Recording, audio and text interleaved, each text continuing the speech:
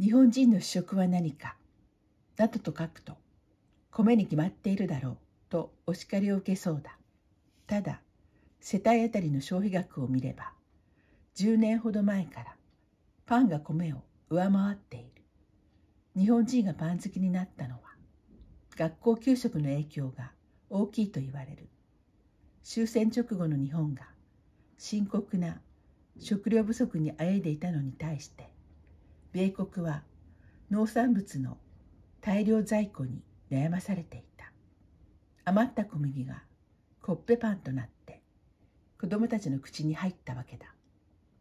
子供が白米ばかり食べていると頭脳の働きが悪くなる。世界はパン食国民によって支配されている。著名な学者によるこんな陳説が世に広まったりもした。やがて米の大豊作時代を迎え米食給食が広がっていく。とはいえ日本人の米離れはその後も続いた。ところがロシアによるウクライナ侵略により日本は再び大きな転機に直面している。小麦の輸出額でロシアが1位。ウクライナが5位を占めるとあって。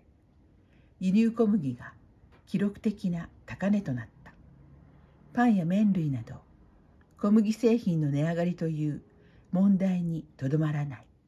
昨日の正論欄で笹川洋平氏が指摘したように食の確保は安全保障の要諦である。自民党は輸入に頼っている小麦や大豆の増産を政府に提言するという。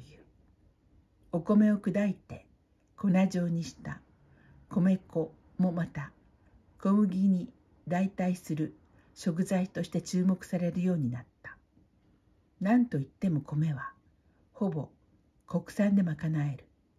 食料自給率が過去最低水準まで落ち込んでいる日本にとって頼りになる主食は米以外にはない。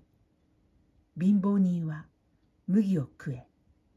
池田隼人元首相が増床時代に残した戦後の政治史上に残る方言である。日本人は米を食え。元首相を尊敬してやまない岸田文雄首相は今こそ国民に訴えなければならない。